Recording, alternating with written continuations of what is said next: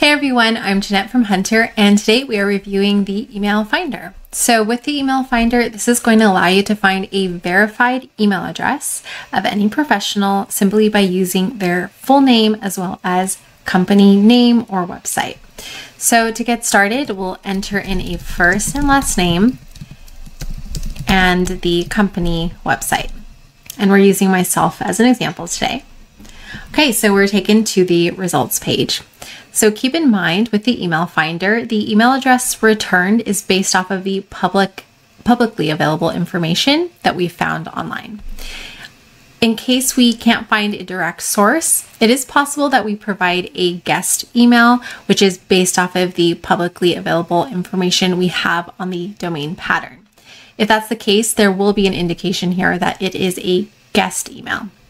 In this case, this is not a guessed email, so we can see in the results that we have sources. So let's review the results quickly.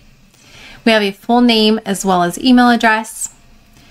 We also have the verified status. As mentioned, a free verification is already performed on these emails. We also have additional information such as the position and a LinkedIn link.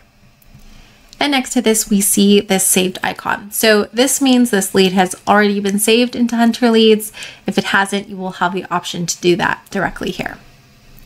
And again, below we have the sources of where this email was directly found online.